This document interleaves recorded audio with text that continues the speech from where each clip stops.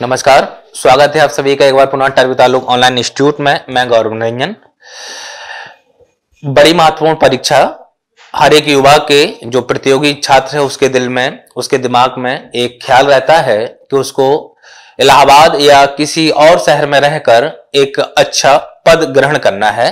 चाहे वो एसडीएम का हो, चाहे नायाब तहसीलदार का हो, या फिर अन्य कोई पद हो ठीक ना प्रशासनिक पद।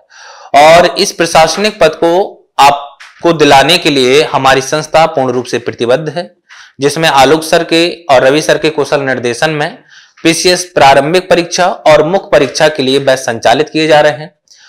और इस बैच की खासियत यह है कि इसमें प्रारंभिक परीक्षा, जिसको आप प्रिलिम्स बोलते हैं, उसकी तैयारी अलग फैकल्टी के माध्यम से कराई जाएगी।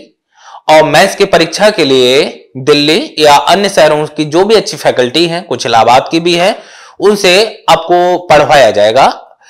जिस कारण से आपका न केवल प्रारंभिक परीक्षा में, बल्कि मुख्य परीक्षा में भी अच्छे नंबरों से पास हो आप और साक्षात्कार को पास करके आप एसडीएम या नायब तहसीलदार या कोई भी अन्य पद, प्रशासनिक पद को आप ग्रहण कर सके। तो यदि आप इस बैच में एडमिशन लेना चाहते हैं और एक अच्छी टीम के साथ, मजबूती के साथ तैयारी करना चाहते हैं तो हमारा नंबर है और इस नंबर जो नंबर है हमारा double nine one eight triple zero four five four. इस नंबर पर आपको केवल पीसीएस इंटरी लिखकर सेंड कर देना है। हमारे काउंसलर्स आपको कांटेक्ट करेंगे, आपसे बात करेंगे और आपको एडमिशन की प्रक्रिया क्या है, कितनी फ़ीस होगी, कब से बैच संचालित होगा, ये सारी की सारी प्रक्रिया आपको बता दी जाएगी। ठीक ना? अगर मैं अपनी बात करूँ तो शायद पहचानते होंगे। नहीं पहचानते हैं, अगर पहली बार देख रहे हैं तो मेरा नाम गौरव निरंजन है और मैं आपको ज्योग्राफी का पार्ट पढ़ाऊँगा ज्योग्राफी इन्वायरमेंट और यूपी स्पेशल ठीक ना? चलिएगा तो अगर हम देखें तो आपने हमारा पिछला वीडियो देखा होगा, जिसमें हमने एक बड़ा महत्वपूर्ण टॉपिक पढ़ाया था, आर्थिक भूगोल से। ठीक ना? आर्थिक भूगोल से एक हमने आपको टॉपिक पढ़ाया था, भारत में भारत की जो भूगर्भिक संरचना है, उसका हमने अध्ययन कराया था और चट्टानों के बारे में हमने अध्ययन किया था। उसी के आगे बढ़ते हैं हम लोग, और उसी के आगे बढ़ते हैं। अब एक नया टॉपिक देखते हैं आप। और जो नया टॉपिक हमारा, इस टॉपिक का नाम है भारत के खनिज संसाधन। आज हम बात करेंगे भारत के खनिज संसाधन पर।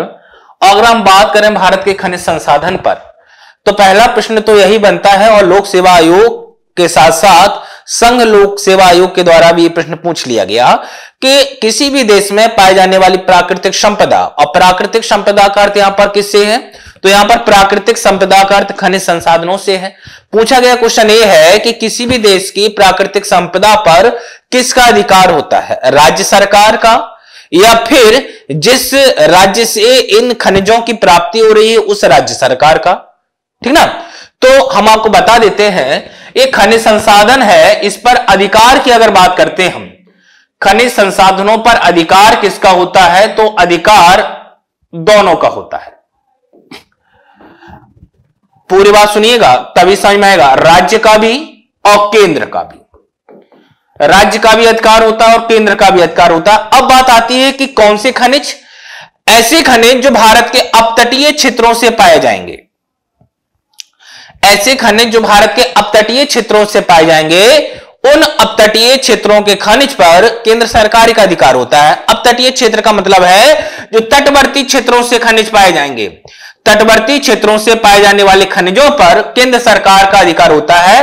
अगर हम बात करें केंद्र सरकार की तो केंद्र सरकार अपतटीय खनिज अपतटीय खनिज। ठीक ना? अपतटीय खनिज पर अधिकार होता है इनका। और यदि किसी राज्य से खनिज मिल रहा है राज्य, वो तट के किनारे नहीं है, तटवर्ती क्षेत्र में नहीं है तो उन पर राज्य सरकार का हुआ, राज्य के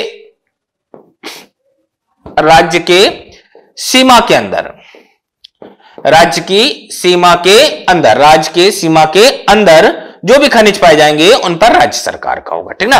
और अगर अगर आप ये भी कह सकते हैं कि सर, या तटीय क्षेत्र में यहाँ पर भी राज्य होगा बिल्कुल होगा बिल्कुल होगा, लेकिन अब तटीय क्षेत्र उसको नाम दे दिया गया और उस अब तटीय क्षेत्र पर केंद्र सरकार का अधिकार होगा, ठीक ना? अगर हम भारत के अनन आर्थिक जोन की बात करें ईईजेड जिसको हम लोग बोलते हैं तो भारत का यहाँ पर एक शहर है चेन्नई। चेन्नई से 24 नॉटिकल मील 24 नॉटिकल मील की जो समुद्री दूरी है, इस पर भारत देश का अधिकार है। भारत देश का अधिकार है, ठीक ना?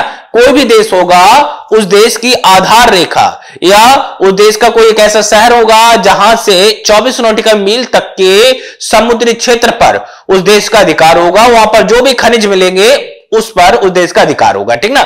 चलेगा तो अगर आपसे यहाँ तक अभी बात हुई कि खनिज की, और खनिज पर अधिकार किसका, राज्य का भी, केंद्र सरकार का भी, केंद्र सरकार अब तटीय खनिजों पर अपना अधिकार पेश करेगी और राज्य राज्य सरकार, जिस राज्य में वो खनिज मिल रहे होंगे, उन राज्यों से, ठीक है ना? अब देखिएगा। नेक्स्ट पेज ले लेते हैं हम। अगर हम खनिज संसाधनों की बात करें तो खनिज तीन प्रकार के बताए गए खनिज का अगर हम वर्गीकरण करते हैं, खनिज का वर्गीकरण। अगर इन खनिजों का वर्गीकरण आप करते हैं, खनिजों का वर्गीकरण तो तीन प्रकार के खनिज। एक धात्विक खनिज धात्विक खनिज, ऐसे खनिजों को कहेंगे हम, जिनसे हमें धातु की प्राप्ति होगी। दूसरा आधात्विक खनिज। दूसरा आधात्विक खनिज। और उसके बाद, ईंधन खनिज। उसके बाद कौन से खनिज हो जाएँगे? उसके बाद हो जाएँगे ईंधन खनिज। ठीक ना? अगर हम इन दोनों खनिजों की बात करते हैं, धात्विक खनिज आधात्विक खनिज और ईंधन खनिज। तो आधात्विक खनिज और ईंधन खनिज जो होते हैं, आपको याद रखना है औषाधी चट्टानों से प्राप्त होते हैं। औषाधी चट्टान से क्या होते हैं? औषाधी चट्टान से प्राप्ति। इनकी कहाँ से प्राप्ति होती है? तो इनकी प्राप्ति होती है औषाधी चट्टानों से। और अगर धात्विक खनिजों की बात करते हैं तो धात्विक खनिजों की जो प्राप्ति है, वो अग्नि चट्टानों से होती है। किससे होती है? अग्नि चट्टानों से। इतनी बात होगी क्लियर ठीक ना? नाम से ही पता चल रहा है ईंधन खनिज तो ईंधन खनिज के अंतर्गत हम पेट्रोलियम, कोयला और प्राकृतिक गैस को शामिल करेंगे। उसके बाद आणविक ऊर्जा को हम भी इसी में भी शामिल करेंगे। आणविक ऊर्जा या परमाणविक ऊर्जा, वो हम ईंधन खनिज में ही उपयोग करेंगे, क्योंकि भाई अणु के द्वारा में क्या प्राप्ति हो रही है? ऊर्जा की प्राप्ति हो रही है। अधात्विक ऐसे खनिज जिनमें धातु का अंश ना पाया जाए, जैसे संगमरमर है जैसे चूना पत्थर है, जैसे बालुका पत्थर है, जैसे जिप्सम है तो आपके अधात्विक खनिज हो जाएँगे। अभी हम एक एक से आपको सब पढ़ाएँगे।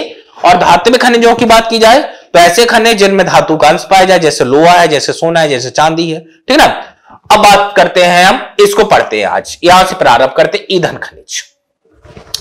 तो अगर हम ईंधन खनिज की बात करें तो ईंधन खनिज को हम तीन भागों में बांट लेते हैं। पहला, कोयला। दूसरा पेट्रोलियम। कोयला, पेट्रोलियम, और उसके बाद क्या हो जाएगा? प्राकृतिक गैस। और क्या हो जाएगा? प्राकृतिक गैस। कोयला, पेट्रोलियम और प्राकृतिक गैस। अब यहाँ से देखिएगा, लोक सेवा आयोग ने क्वेश्चन पूछ लिया। ईंधन खनिजों में सबसे अधिक मूल्य का खनिज कौन है? सबसे अधिक मूल्य का खनिज कर यहाँ पर क्या है? तो यहाँ पर सर्वाधिक मूल्य के खनिज का मतलब यह है कि वह कौन सा खनिज ईंधन खनिजों में जिससे सर्वाधिक मात्रा में आय की प्राप्ति होती है? तो कौन सा है? कोयला। कोयला के भंडार भारत में बहुत ज़्यादा है। ठीक ना?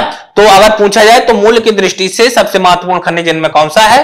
तो मूल्य की दृष्टि से इनमें सबसे ज़्यादा खनिज जो है, वो कोयला है। और उत्पादन मूल्य की दृष्टि से किसका उत्पादन ज़्यादा होता है भारत में? तब भी कोयला। ठीक ना? चलेगा कोयला को हम पढ़ते हैं एक एक से। ठीक ना? बात करते हैं हम कोयला।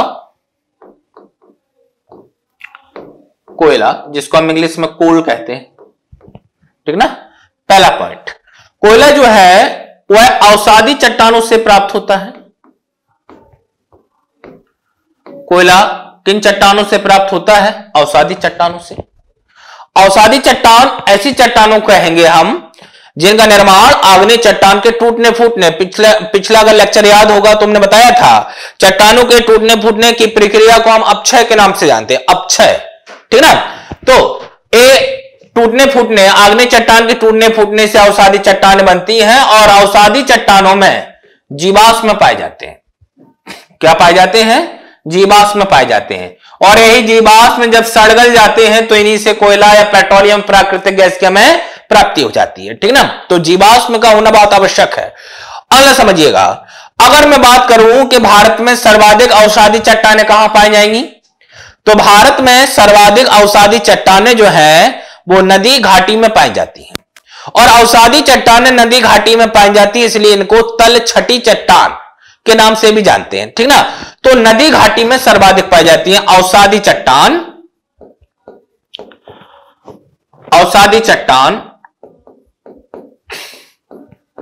नदी घाटी में, नदी घाटी में सर्वाधिक पाई जाती है। नदी घाटी में सर्वाधिक मात्रा में पाई जाती है।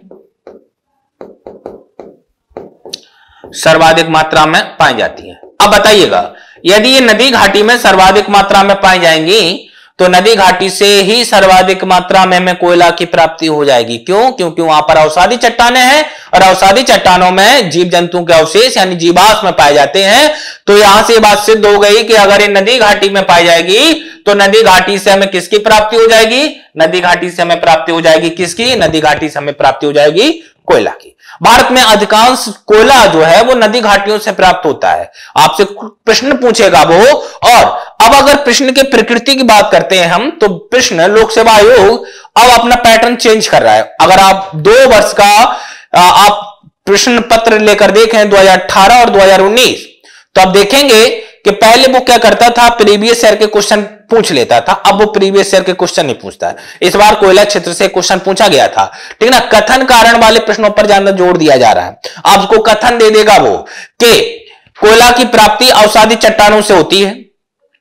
कोयला की प्राप्ति अवसादी चट्टानों से होती है। ठीक ना? और नीचे कारण दे देगा। कथन हो गया कारण। क्योंकि अवसादी चट्टानों में जीव जंतु के अवशेष पाए जाते हैं और वही चार ऑप्शन रहेंगे, जिनको आप जानते हैं पहले से। कथन और कारण दोनों सही है। कथन जो कथन कारण है, वो कथन की सही व्याख्या करता है। कथन और कारण सही तो है, लेकिन कथन और कारण की सही व्याख्या नहीं हो पाती है। कथन सही है, कारण गलत है। कारण सही है, कथन सही। इस प्रकार से वो क्वेश्चन पूछेगा। इसी में एक और क्वेश्चन पूछ लेगा वो आपसे। क्वेश्चन पूछ लेगा कि कोयला की प्राप्ति नदी घाटियों से होती है। एक कथन है, और कारण दे देगा, क्योंकि नदी की घाटियों में अधिकांश मात्रा में अवसादी चट्टाने पाई जाती बिल्कुल है। अब बात करते हैं कि नदी घाटी में अवसादी चट्टाने अधिक मात्रा में क्यों पाई जाती है? तो समझ लीजिएगा। अब बताइएगा, मान लीजिएगा ये कोई नदी इस प्रकार प्रवाहित हो रही है। मान लीजिएगा कोई नदी इस प्रकार प्रवाहित हो रही है, और जब यह नदी इस प्रकार प्रवाहित हो रही होगी तो इस नदी में जल होगा। इस नदी में क्या होगा? इस नदी में जल होगा। लेकिन जल के साथ साथ इसमें रेत, कंकड़ रेत, कंकड़ जीव जंतु के अवशेष जीव जंतु पाए जाएँगे। जैसे मछली है, केकड़ा है, कछुआ है, मेढक है। साथ ही साथ पेड़ पौधे भी पाए जाएँगे। कई बार आपने देखा होगा, नदी में कोई पौधा है, बहता हुआ चला जा रहा है। तो नदी क्या करती है? इनको रेत, कंकड़ जीव जंतु या पेड़ पौधों को एक जगह पर आकर इनका जमाव कर देती है। और धीरे धीरे धीरे धीरे धीरे जब ये जमते रहेंगे, यहाँ पर जमाव होता रहेगा तो यहाँ पर किनका निर्माण हो जाएगा? यहाँ पर निर्माण हो जाएगा अवसादी चट्टानों का, और जब यहाँ पर अवसादी चट्टानों का निर्माण हो जाएगा तो यहीं से हमें किसकी प्राप्ति हो जाएगी? यहीं से हमें प्राप्ति हो जाएगी कोयला की। ठीक ना? तो नदी घाटियों में अवसादी चट्टानों का विकास इसलिए हुआ है, क्योंकि नदी अपने साथ जीव जंतुओं के अवशेषों को या जीव जंतु और पेड़ पौधों को क्या करती है? बहाकर लाती है। ठीक ना? इतनी बात हो गई। आगे देखिएगा। बस एक एक से समझते जाइएगा। और यहाँ से आपको करना क्या है? हमने आपको पहले बताया कि हमारे संस्थान में प्रारंभिक परीक्षा अलग अलग अध्यापकों के मार्गदर्शन में पढ़ाई जाएगी और मुख्य परीक्षा के लिए अच्छे अच्छे टीचर बुलाए जाएँगे और अच्छे प्रारंभिक परीक्षा से भी और अच्छे। तो आपको बेस अपना यहीं से बनाना है, बेस अपना यहीं से बनाना है। अब मान लीजिएगा, आप, वो आपसे कोयला के बारे में पूछेगा मेंस की परीक्षा में कोयला क्षेत्रों को चिन्हित कीजिएगा। तो कोयला चिन्हों को यहीं से सीखना प्रारंभ कीजिएगा। तब अच्छा आंसर लिख पाएँगे ठीक ना? चलिएगा। हम कोयले का वर्गीकरण करेंगे। हम कोयला के या प्रकार देख लेते हैं। वर्गीकरण लिख लेते हैं या कोयला का प्रकार। अगर हम कोयले के प्रकार की बात करें तो कोयला चार प्रकार का होता है बाबू। एक, बस आप समझिएगा, आपने ऐसा कहीं नहीं पढ़ा होगा, ये मैं दावा दूँगा आपको, ठीक ना? ये बात का मैं प्रॉमिस करूँगा आपसे कि आपने ऐसा कहीं नहीं पढ़ा होगा। नए नए एकदम से फॉर्मूले दिए जाएँगे, आपको बहुत अच्छे समझ आएगा, ठीक ना? एक होता है एंथ्रासाइड कोयला। एंथ्रासाइड मैं पूरा नाम लिख देता हूँ एंथ्रासाइड कोयला, ठीक ना? एंथ्रासाइड के बाद दूसरा यहाँ पर है, तीसरा यहाँ पर और चौथा यहाँ पर, ठीक ना? तो एक जो हो गया वो आपका एंथ्रासाइड हो गया। दूसरा जो कोयला होता है बिटुमिन्स बिटुमिन्स या बिटुमिनस भी बोलते हैं बिटुमिनस कोयला। उसके बाद लिग्नाइट। लिग्नाइट कोयला। लिग्नाइट कोयला और लिग्नाइट कोयला के बाद हो जाएगा आपका पीट कोयला। ये बाबू चार प्रकार का कोयला होता है। ठीक ना? अब समझिएगा अच्छे से। आप जैसे जैसे यहाँ से यहाँ की ओर जाएँगे यानी कहाँ से कहाँ की ओर जाएँगे? आप एंथ्रासाइड से जैसे जैसे पीट कोयले की ओर जाएँगे, कार्बन की मात्रा में कमी आती जाएगी। कार्बन की मात्रा।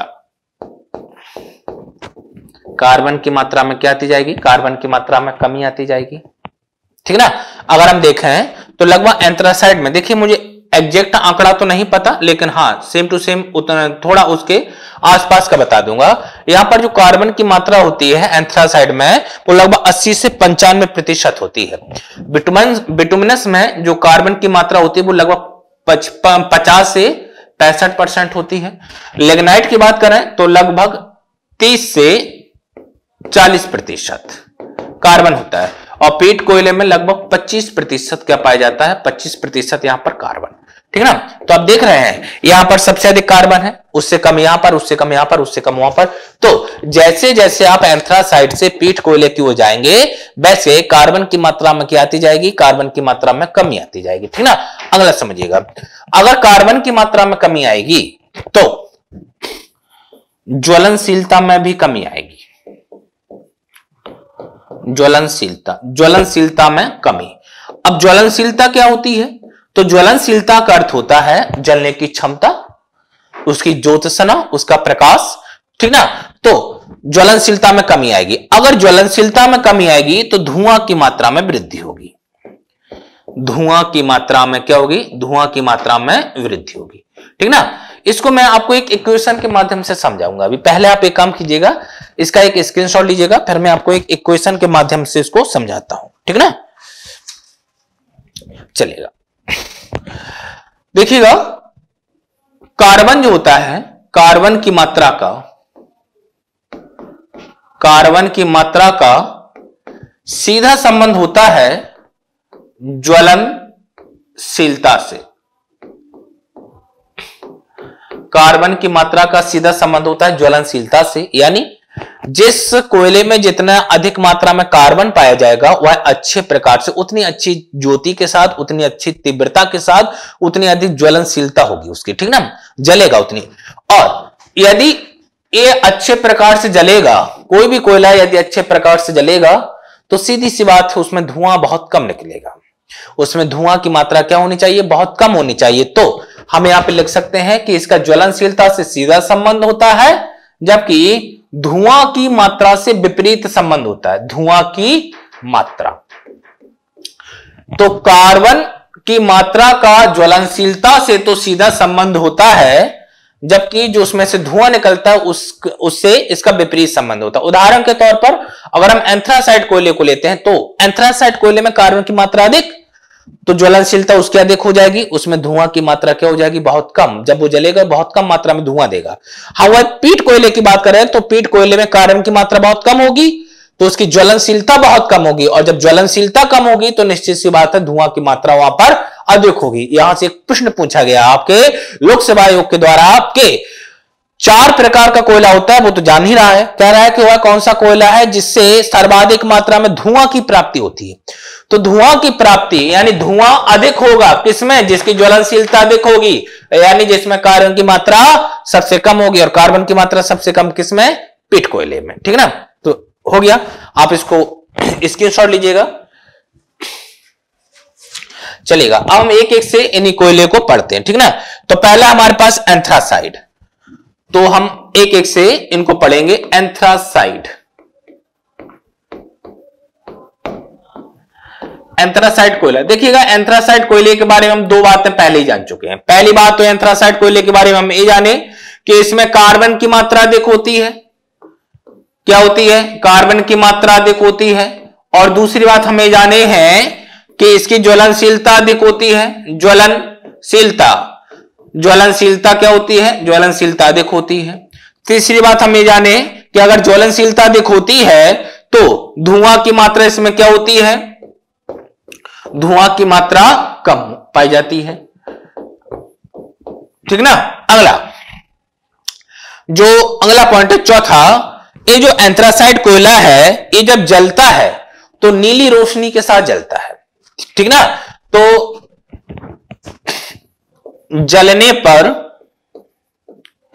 नीली रोशनी ब्लू लाइट नीली रोशनी उत्पन्न करता है।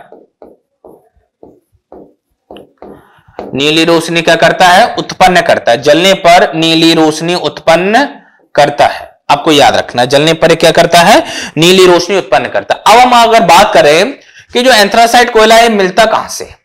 तो भारत में बहुत कम मात्रा में पाया जाता है। भारत में एंथ्रासाइट कोयला बहुत कम मात्रा में पाया जाता है, या केवल जम्मू कश्मीर राज्य में पाया जाता है। भारत में केवल जम्मू कश्मीर राज्य में। तो एंथ्रासाइट कोयला केवल जम्मू कश्मीर राज्य में पाया जाता जम्मू कश्मीर राज्य में पाया जाता ठीक ना? चलिएगा। जम्मू कश्मीर राज्य में क्यों पाया जाएगा? जम्मू कश्मीर राज्य में क्यों पाया जाएगा? तो हमने आपको पढ़ाया है कि कोयला वहाँ से मिलेगा जहाँ पे अवसादी चट्टाने हो। आज जहाँ पर हिमालय पर्वत है, जम्मू कश्मीर राज्य यानी हिमालय की बात हो रही है, हिमालय पर्वतीय क्षेत्र से मिलता है। तो जहाँ पर आज हिमालय पर्वत है, वहाँ पर पहले प्राचीन काल में टैथिस हिमालय हुआ करता था या टैथिस सागर हुआ करता था। यूरेशियन प्लेट और भारतीय प्लेट खंड शिक्षा अधिकारी का हमारे यहाँ बैच चल रहा है और उसमें मैंने हिमालय पढ़ा है, शायद आप लोगों ने देखा होगा, उसमें मैंने इस बात का ज़िक्र किया है। ठीक ना? भारतीय प्लेट और यूरेशियन प्लेट। मान लीजिएगा, इंडियन प्लेट है, यूरेशियन प्लेट है, बीच में एक सागर है टैथिस सागर। भारत से आने वाली नदियाँ अपना जल टैथिस सागर में गिराती थी। और अभी अभी हमने बताया है कि कोई भी नदी केवल जल को लेकर प्रवाहित नहीं होती है। उस नदी में जल के साथ साथ जीव जंतुओं के अवशेष, जिनको हम जीवाश्म कहते हैं, जीवाश्म पाए जाते हैं। जीवाश्म पाए जाते तो यहाँ बीच में तैतीस सागर है। जब इन प्लेटों का टक्कर हुआ तो तैतीस सागर का जो मलबा था वो ऊपर उठ गया उसी को हमने हिमालय दे दिया शॉर्ट शब्दों में। तो अवसाद था, वहाँ पर जो मलबा था, जिसको हम मलबा या अवसाद कह रहे हैं तो उस अवसाद में जीव जंतुओं के अवशेष निश्चित रूप से पाए जा रहे होंगे। और जीव जंतुओं के अवशेष निश्चित रूप से पाए जा रहे थे, इसलिए वहाँ से हमें किसकी प्राप्ति हो गई? वहाँ से हमें कोयला की प्राप्ति हो गई। तो कई बार वो होता है कई बार एग्जामिनर जम्मू कश्मीर राज्य नहीं देगा और वो कई बार दे देगा कि भारत में एंथ्रासाइड कोयला की प्राप्ति क्षेत्र कौन सा है? भारत में एंथ्रासाइड कोयले की प्राप्ति क्षेत्र कौन सा है? पहला, अरावली पर्वतीय क्षेत्र, दूसरा, सतपुड़ा पर्वतीय क्षेत्र, तीसरा विंध्यांचल पर्वतीय क्षेत्र, चौथा, हिमालय पर्वतीय क्षेत्र तो हिमालय पर्वतीय क्षेत्र। कौन सा हो जाएगा? हिमालय पर्वतीय क्षेत्र, हिमालयी पर्वतीय क्षेत्र, हिमालयी पर्वतीय क्षेत्र। क्या हो जाएगा? हिमालय पर्वतीय क्षेत्र। ठीक ना? ये आपको याद रखना है। ये बातें आपको याद रखना ये आपका पहला कोयला है एंथ्रासाइड कोयला। ठीक ना?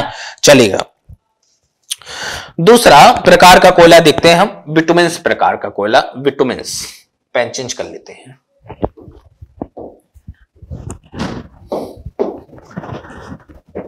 दूसरा प्रकार का जो कोयला होता है, इसका नाम है विटुमिन्स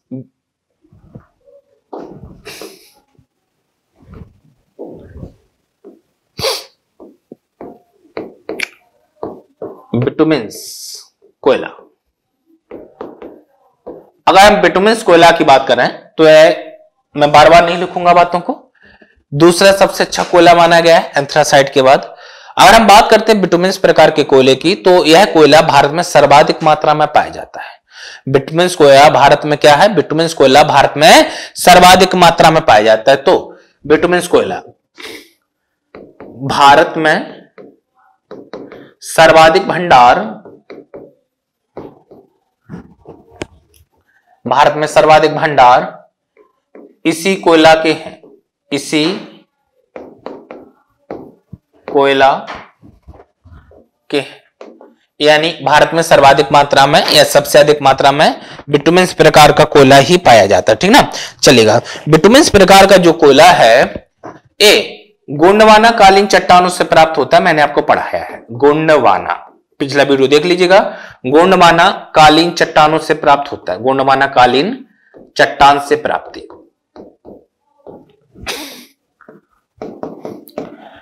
गुणमानक कालीन चट्टान से प्राप्ति ठीक ना? भारत में लगभग अंठानवे प्रतिशत यही कोयला पाया जाता है। दो प्रतिशत लेगनाइट पेट और एंथ्रासाइड मिला के अंठानवे प्रतिशत। ठीक ना?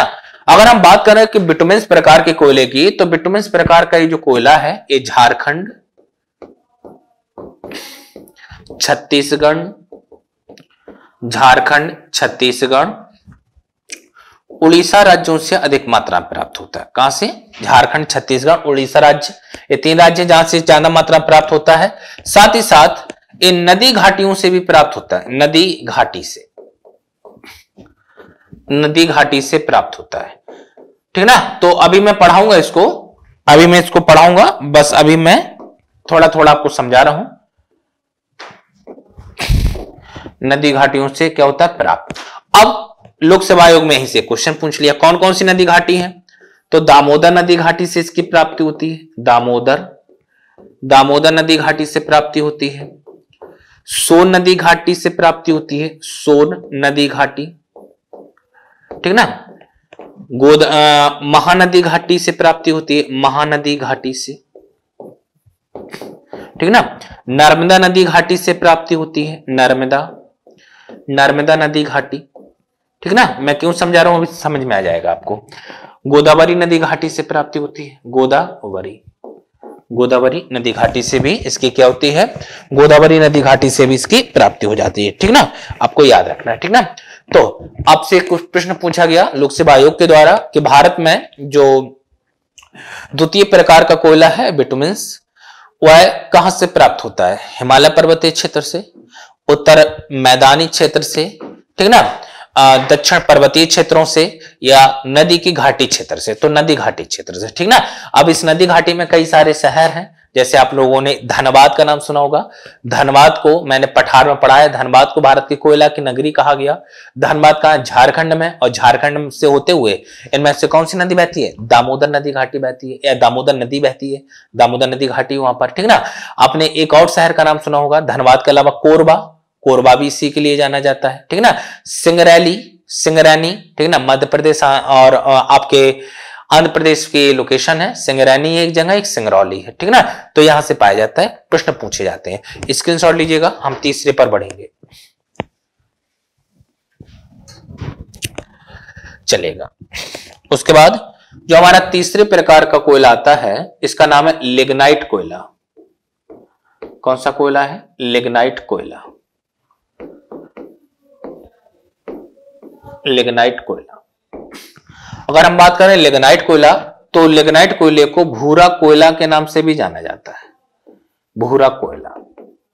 अब भूरा इसे क्यों कहते हैं? जलते वक्त या जलते समय अधिक मात्रा में,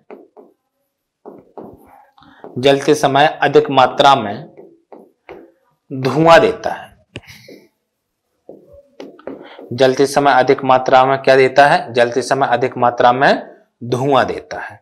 और अधिक मात्रा में धुआँ देने के कारण ही इसको क्या, धुआँ कैसा होता है? भूरे रंग का होता है, इसलिए इसको भूरा कोयला कहा जाता है। ठीक ना? मैं शुरुआत में बात बताना भूल गया था, यहाँ बता देता हूँ। कोयला को काला सोना की संज्ञा दी जाती है, ब्लैक गोल्ड बोला जाता है, काला सोना के नाम से जाना जाता है। ठीक ना? याद रखना है आपको। लेगनाइट कोयले की अगर हम बात करें तो लेगनाइट कोयला जो है, वो टर्सरी टर्सरी युग की अवसादी चट्टानों से पाया जाता है। टर्सरी युग की अवसादी चट्टानों से। अवसादी चट्टान से। अवसादी चट्टान। लेग्नाइट कोयले के अगर हम भंडार की बात करें तो लिग्नाइट कोयले का जो सर्वाधिक भंडार है, लेग्नाइट कोयले का सर्वाधिक भंडार तमिलनाडु राज्य में पाया जाता है। लिग्नाइट कोयले का सर्वाधिक भंडार कहाँ पाया जाता है? तमिलनाडु में। तमिलनाडु में आपको दो जगह याद रखना है। एक का नाम है नवेली, या निवेली के नाम से भी जानते हैं। दूसरा नाम है मुन्नार गुड़ी या मन्नार गुड़ी मुन्नार गुड़ी मुन्नार गुड़ी बोलते हैं इसको मन्नार गुड़ी मन्नार गुड़ी ठीक ना? सर्वाधिक मात्रा में पाया जाता है भारत में लिग्नाइट कोयला। तमिलनाडु में इसके सबसे ज़्यादा क्षेत्र हैं। तो एक तो है नेवली या नवेली भी बोलते हैं, नेबली भी बोलते हैं, और दूसरा है मन्नारगुड़ी ठीक ना? तमिलनाडु में सलेम लो इस्पात संयंत्र केंद्र है, सलेम। सलेम तमिलनाडु में लो इस्पात संयंत्र केंद्र है तो लोह इस्पात संयंत्र केंद्र को जो ईंधन की प्राप्ति होती है, कोयला की प्राप्ति होती है, वो यहीं पर मन्नारगुड़ी और नवेली से प्राप्त होती है, ठीक ना? चाहे इसको नवेली और नेबली, ठीक ना? दो नाम से जानते हैं, ठीक ना? अब देखिएगा मैं आपको ये टॉपिक क्यों पढ़ा रहा हूँ? खनिज। अगर आपने अच्छे से खनिज समझ लिया ना तो आपको अच्छे से उद्योग समझ में आ जाएँगे। हम आखिर उद्योग कहाँ लगाएँगे? तो उद्योग दो चीज़ों पर सबसे ज़्यादा डिपेंड करते हैं। पहला, कच्चे माल की समीपता। जहाँ पर कच्चा माल जल्दी से प्राप्त हो जाए, वहाँ पर उद्योग लगाते हैं। या बाज़ार की सुगमता। बाज़ार, जहाँ पर कच्चा माल से हम प्रोडक्ट सॉरी कच्चे माल से हम प्रोडक्ट का निर्माण करेंगे और उस प्रोडक्ट को बेचने के लिए हमारे पास बाज़ार होना चाहिए। जितने पास में बाज़ार होगा, उतना अच्छा फ़ायदा रहेगा। और अगर बात करें कोयला तो कोयला का सर्वाधिक उपयोग लोह इस्पात संयंत्रों में किया जाता है। लोह इस्पात उद्योगों में किया जाता है लोहा बनाने में, लोहा के सामान बनाने में, ठीक ना? चलिएगा स्क्रीन लीजिएगा इसका लिग्नाइट कोयला का।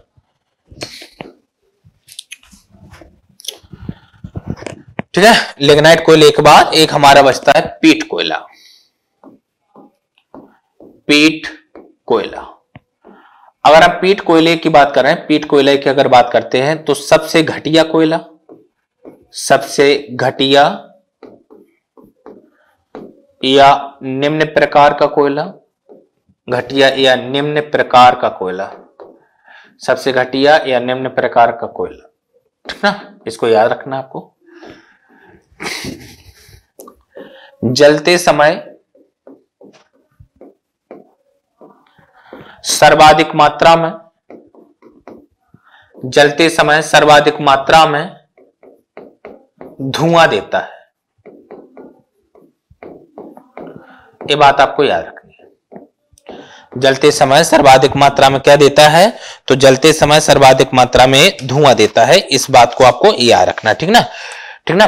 अगर हम बात करें प्राप्ति स्थल की तो दलदल क्षेत्रों से इसकी प्राप्ति होती है। दल दली दलदली क्षेत्रों से प्राप्ति। दलदली क्षेत्रों से क्या होती है इसकी? दलदली क्षेत्रों से इसकी प्राप्ति होती है। ठीक है ना? बस इसके बारे में और कुछ नहीं है तो इतना ही आपको समझना है, इतना ही आपको समझना है। जल्दी से लीजिएगा, फिर हम गोंडवाना कालीन कोयला या फिर गोंडवाना कालीन कोयला या बिटुमिन्स प्रकार के कोयले को पढ़ेंगे। और बिटुमिन्स प्रकार के कोयले को हम इसलिए पढ़ेंगे, पहली बात, क्योंकि वो भारत में सर्वाधिक मात्रा में पाया जाता है, और भारत में सर्वाधिक मात्रा में पाए जाने के कारण ही, या इन चारों में से वही भारत में सर्वाधिक मात्रा में पाया जाता है और सर्वाधिक मात्रा में पाए जाने के कारण ही हमारा लोक सेवा आयोग या संघ लोक सेवा आयोग वहाँ से अधिकार प्रश्न पूछ लेता है, ठीक ना? नदी घाटी क्षेत्र पढ़ेंगे हम लोग तो हम लोग एक एक से पढ़ेंगे। बिटमें या गोडवाना कालीन, कोयला क्षेत्र।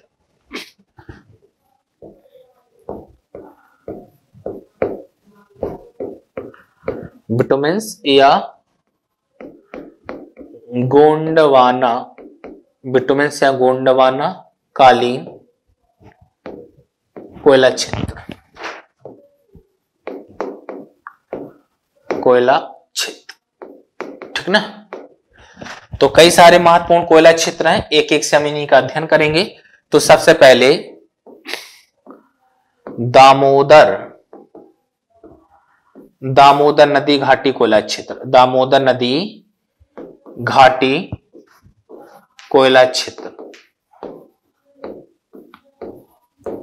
दामोदर नदी घाटी कोयला क्षेत्र। सबसे पहले हम इस पढ़ेंगे।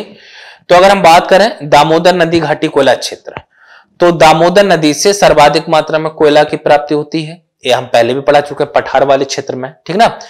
और दामोदर नदी से सर्वाधिक मात्रा में कोयला की प्राप्ति होने के कारण दामोदर नदी की तुलना जर्मनी में बहने वाली रूर नदी से कर दी जाती है।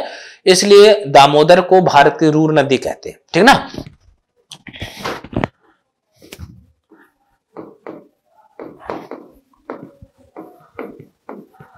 दामोदर नदी से सर्वाधिक सर्वाधिक कोयला की प्राप्ति, सर्वाधिक कोयला की प्राप्ति। ठीक ना? दूसरा, भारत की रूर नदी के नाम से जाना जाता है। भारत की रूर नदी कहा गया या कहा जाता है? क्या कहा जाता है? भारत की रू नदी कहा जाता है। अगर हम बात करें कि दामोदर नदी का संबंध कौन कौन से राज्यों से है तो दामोदर नदी का संबंध दो राज्यों से है। मुख्य रूप से बहती तो तीन राज्यों में है वैसे। तो दामोदर नदी कोयला क्षेत्र जो है, वो झारखंड से प्राप्त होता है और पश्चिम बंगाल। झारखंड से और कहाँ से? झारखंड और झारखंड के साथ साथ पश्चिम बंगाल। झारखंड में एक जगह है झरिया। यहाँ से प्राप्ति होती है। झारखंड में एक जगह है और जगह का नाम है झरिया। यहाँ से प्राप्ति होती है। और पश्चिम बंगाल में बात करें तो पश्चिम बंगाल में एक जगह है रानीगंज। रानीगंज से प्राप्ति होती है। देखिएगा, ये क्वेश्चन पूछे जाते हैं। झरिया। किसके लिए जाना जाता है? तो झरिया कोयला के लिए जाना जाता है। और झरिया है कहाँ? तो झा से झरिया, जहाँ से झारखंड। इतना तो याद ही हो जाएगा। और रानी रानी कहाँ है? रानी बंगाल की रहने वाली ऐसे याद रख लीजिएगा। रानी जी कहाँ की रहने वाली? बंगाल की रहने वाली। ठीक ना? देखिएगा, जो ये झारखंड राज्य है आपका झारखंड। सर्वाधिक खनिज की प्राप्ति होने के कारण सर्वाधिक खनिज सर्वाधिक खनिज की प्राप्ति होने के कारण, सर्वाधिक खनिज की प्राप्ति होने के कारण, इसको क्या नाम दे दिया गया? भारत का खनिज हृदय बोलते हैं। क्या बोलते हैं? इसे भारत का खनिज हृदय कहा गया। भारत का खनिज हृदय मिनरल हार्ट ऑफ़ इंडिया कहा गया। भारत का खनिज हृदय झारखंड को कहा जाता है, ठीक ना? अब एक एक से हम पढ़ लेंगे, ठीक ना? एक एक से हम इनको पढ़ लेंगे, ठीक ना? चलेगा तो एक तो जगह है झरिया और दूसरी जगह कौन सी है? तो दूसरी जगह रानीगंज, ठीक ना? रानीगंज, पश्चिम बंगाल में रानीगंज के अलावा दो तीन जगह और हैं जहाँ पर लो इस्पात देखिएगा अभी हम केवल कोयला पढ़ रहे हैं, लो इस्पात संयंत्र वगैरह ना पढ़े अभी तो बेटर होगा, नहीं तो बहुत हौच पौच हो जाएगी, ठीक ना? तो इतनी बात बस आप याद रखिए, जब भी मैं आपको लोहा लोहा पढ़ाऊँगा या लोहा से संबंधित उद्योग पढ़ाऊँगा, जब इन स्थानों के नाम दोबारा से आएँगे, इन स्थानों के नाम दोबारा से आ जाएँगे। जैसे एक नाम सुना होगा आपने, पश्चिम बंगाल में वर्णपुर वर्णपुर। पश्चिम बंगाल में वर्णपुर का नाम सुना होगा। आपने पश्चिम बंगाल में एक नाम सुना होगा, कुल्टी। और एक नाम सुना होगा हीरापुर। यहाँ पर लोह इस्पात उद्योग की स्थापना की गई। किसकी स्थापना की गई? लौह इस्पात उद्योग। और लोह इस्पात उद्योग की स्थापना यहाँ पर इसलिए की गई क्योंकि इन क्षेत्रों में जो क्षेत्र है, वो रानीगंज के क्षेत्र के समीप है और यहाँ से कच्चे माल के रूप में या ईंधन के रूप में यहाँ से इनको किसकी प्राप्ति हो जाती थी? यहाँ से इनको कोयला की प्राप्ति हो जाती थी। ठीक ना? चलेगा तो अभी आपको याद रखना है दामोदर नदी घाटी कोयला क्षेत्र। दामोदर नदी घाटी कोयला क्षेत्र आपको दो राज्य याद रखना है। झारखंड में कहाँ से? झरिया से और पश्चिम बंगाल में कहाँ से? तो पश्चिम बंगाल में आपकी रानीगंज से। पश्चिम बंगाल में कहाँ से? तो पश्चिम बंगाल में रानीगंज से इसकी प्राप्ति होती। ठीक ना? चलेगा। अगला देखते हैं। सोन नदी घाटी क्षेत्र, ठीक ना? अगला है हमारा सोन नदी घाटी क्षेत्र। सोन नदी घाटी के क्षेत्र से प्राप्त होता है। तो सबसे पहले अगर हम बात करें सोन नदी के राज्य की बात करें किन किन राज्यों से संबंधित तो सोन नदी देखा जाए तो मध्य प्रदेश के अमरकंटक पठार से निकलती है और अमरकंटक से निकलने के बाद थोड़ी सी उत्तर प्रदेश और उत्तर प्रदेश से होते हुए बिहार की राजधानी पटना में जाके गंगा नदी से मिलती है। कौन सी नदी? सोन नदी।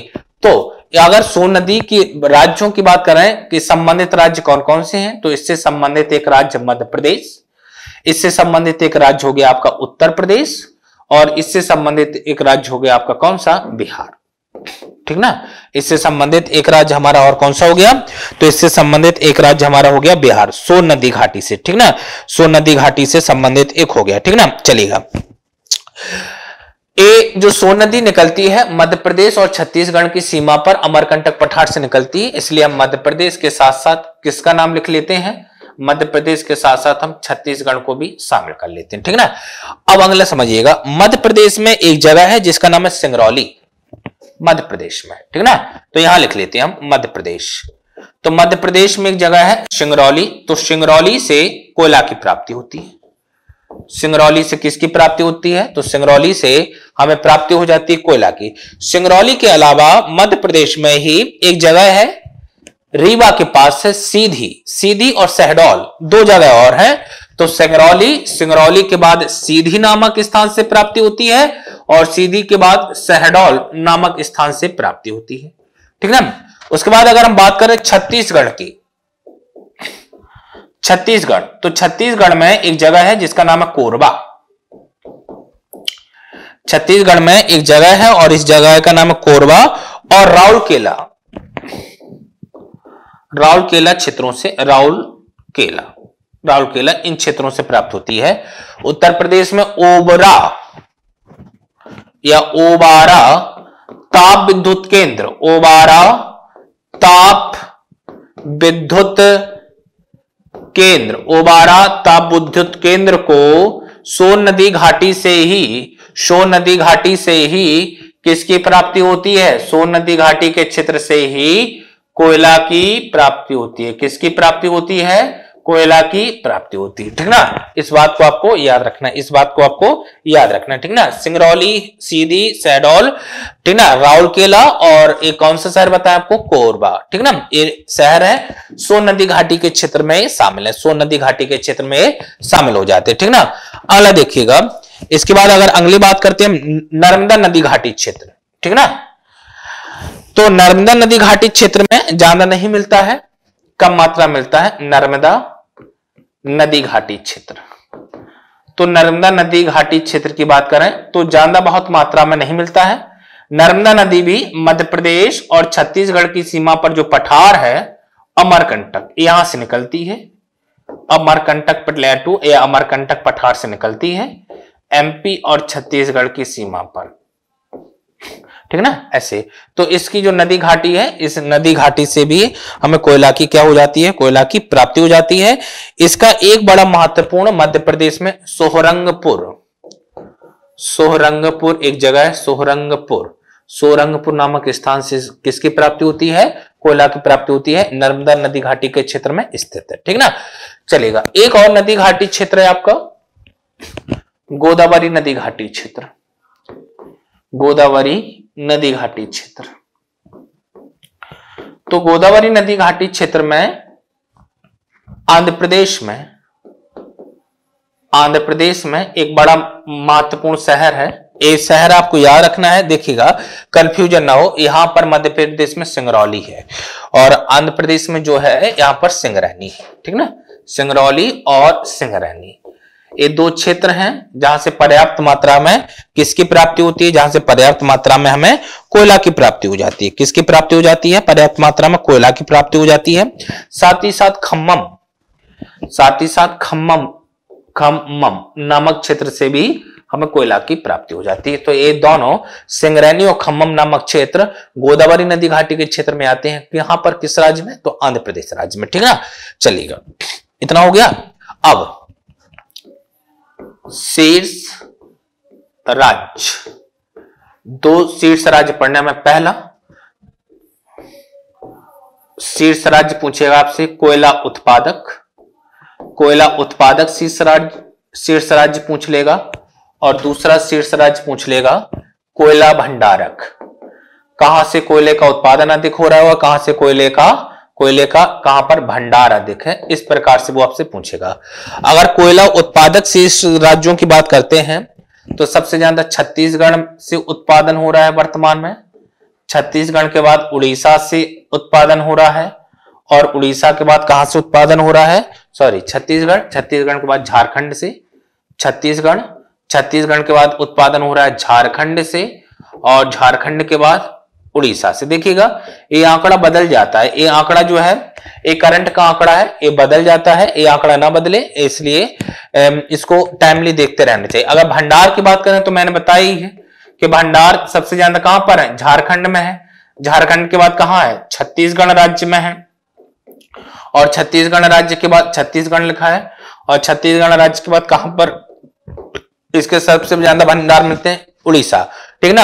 अगर वो आपसे देखिएगा ऐसा पूछता है शीर्ष कोयला भंडारक राज्य कोई कोयले का प्रकार नहीं देता तो आपको बिटुमिन प्रकार का कोयला समझना है।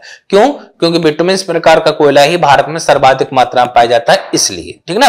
तो अगर वो ऐसे क्वेश्चन पूछेगा तो आपको बिटुमिन समझना है। अगर इसके विपरीत अगर हम लेगनाइट कोयले की बात करते हैं, ठीक ना? किस कोयले की बात करते हैं? लेगनाइट। लेगनाइट कोयला की बात करें तो अगर हम लेगनाइट कोयले की बात करते हैं तो दो शीर्ष उत्पादक राज्य पूछेगा आपसे। शीर्ष उत्पादक राज्य पूछेगा और क्या पूछेगा? और आपसे शीर्ष भंडारक राज्य पूछेगा। शीर्ष भंडारक, ठीक ना? एंथ्रासाइड का तो हम बता दिए कि एंथ्रासाइड कहाँ पर? जम्मू कश्मीर राज्य में। अगर यहाँ पर उत्पादक पूछा जाए तो तमिलनाडु, गुजरात, राजस्थान। तमिलनाडु में सबसे ज़्यादा उत्पादन हो रहा है। उसके बाद गुजरात उसके बाद राजस्थान। अब जानते हैं गुजरात, राजस्थान का उल्लेख प्राचीन काल से मिलता है, सरस्वती नदी, लोथल, हड़प्पा तो इस कारण से आज तमिलनाडु, राजस्थान, ठीक ना, तमिलनाडु, गुजरात राजस्थान, ठीक ना? तो ये क्या है? ये उत्पादन है। और भंडार की बात करें तो तमिलनाडु, उसके बाद राजस्थान, तमिलनाडु तमिलनाडु के बाद राजस्थान, ये आंकड़ा देखिएगा, चेंज होता रहता है, इसको देखना पड़ेगा आपको। उसके बाद गुजरात। ठीक ना? तो ये भंडार है यहाँ पर, सबसे अधिक भंडार हमने अभी पढ़ाया था। तमिलनाडु में है मन्नारगुड़ी का नाम लिए थे ये नेवाली। चाहे नेवली बोले, चाहे नवेली बोले, एक ही है वो। कहाँ पर है? वो आपके तमिलनाडु में, ठीक ना? तो ये आज हम लोगों ने कोयला क्षेत्र को पढ़ा, भारत के महत्वपूर्ण खनिज संसाधनों में आज हम लोगों ने कोयला को देखा, ठीक ना? हमारे यहाँ सिविल सेवक सिविल सर्विस के जो विशेषज्ञ हैं, उनके द्वारा आलोक सर और रवि सर के कुशल मार्गदर्शन में 2020 के लिए प्रारंभिक और मुख्य परीक्षा दोनों के लिए बैच प्रारंभ किए जा रहे हैं। 20 जनवरी से कक्षाएँ संभवतः चलने लगेंगी। आपको यदि इस बैच में एडमिशन लेना चाहते हैं तो एक हमारा नंबर है। इस नंबर को हम आपको इस नंबर से अवगत करा देते हैं। जो हमारा नंबर है, ये हमारा नंबर रहा double nine one eight triple zero four five four इस नंबर पर आपको व्हाट्सएप के माध्यम से पीसीएस एंट्री लिखकर सेंड कर देना है। एडमिशन की सारी की प्रक्रिया आपको समझा दी जाएगी। न्यूनतम शुल्क पर सर्वोच्च टीम के साथ, सर्वोच्च अच्छी टीम के साथ, जिसमें प्रारंभिक और मुख्य परीक्षा के टीचर अलग अलग होंगे, उनसे आपको अध्यापन कार्य कराया जाएगा और आपको निश्चित रूप से 2020 में एसडीएम या फिर अन्य किसी प्रशासनिक पद पर चयनित करा दिया जाएगा। ठीक ना? ये प्रॉमिस रहा। आप जिस जिस प्रकार हम लोग मेहनत करेंगे, उसी प्रकार यदि आप भी मेहनत करेंगे तो निश्चित रूप से आपको सफलता मिल जाएगी ठीक ना? चलिए इन्हीं शब्दों के साथ थैंक यू